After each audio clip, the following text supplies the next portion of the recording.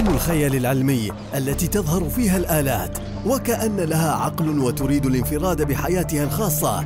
كانت البدايات لما يعرف باسم الذكاء الاصطناعي الذي يعرفه البعض بأنه الذكاء الذي تستخدمه الآلات بما يحاكي القدرات الذهنية للبشر ويراه البعض بأنه علم وهندسة صنع آلات ذكية مبرمجة على فهم وتحليل الأشياء واتخاذ القرارات المناسبة كما يحدث في العقل البشري لكن هل تحل الآلات يوما ما مكان الإنسان؟